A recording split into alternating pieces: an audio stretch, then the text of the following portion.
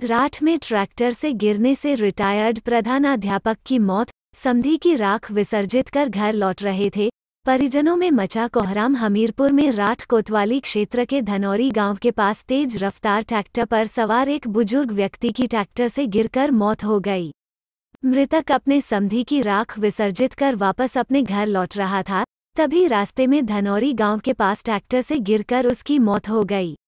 घटना की जानकारी लगते ही मृतक के परिवार में कोहराम मच गया।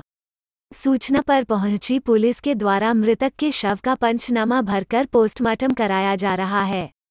जानकारी के अनुसार राठ क्षेत्र के उमरिया गाँव के निवासी गणेशी प्रसाद पुत्र वासुदेव जो कि पठानपुर राठ निवासी अपने समधी चरणदास की राख विसर्जित करने के लिए ग्राम बिहुनी स्थित नदी में गया हुआ था वहाँ से वापस लौटने के दौरान रास्ते में राठ कोतवाली क्षेत्र के धनौरी गाँव के पास ट्रैक्टर में बैठा गणेशी प्रसाद संतुलन बिगड़ने से ट्रैक्टर से गिरकर घायल हो गया, जिसे लहूलुहान अवस्था में राठ के सरकारी अस्पताल में भर्ती कराया गया।